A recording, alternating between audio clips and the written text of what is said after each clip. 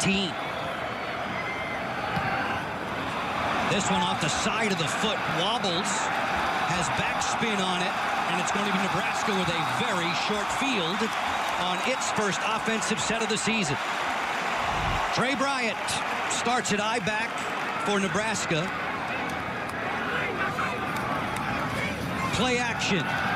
Lee wants the deep ball, doesn't have a receiver. He's flushed out now, crossing one underneath, and it bounces in and out of the hands of his intended target. Hoppes flexing in motion, the tight end. Zipped out into the flat. There's Tyjon Lindsey. Wrapped up quickly. Nice tackle made by B.J. Edmonds.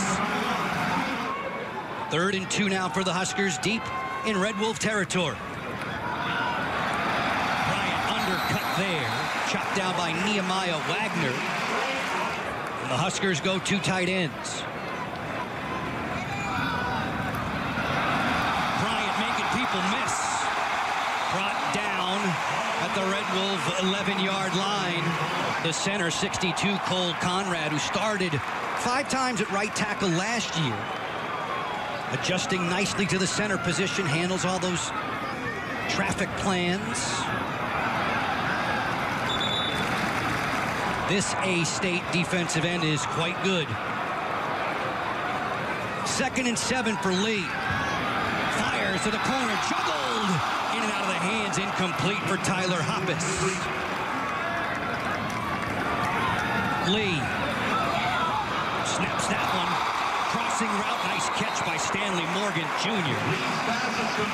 Matched up with Justin Clifton. Very reliable. Drew Brown, honorable mention, all Big Ten last year. Hammers this one on the way and drills it through.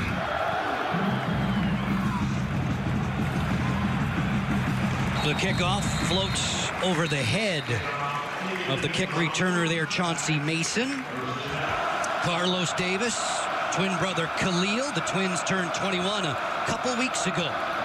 First and 10 for Hansen. This is Warren Wand. All five foot five of him, listed at 180 pounds.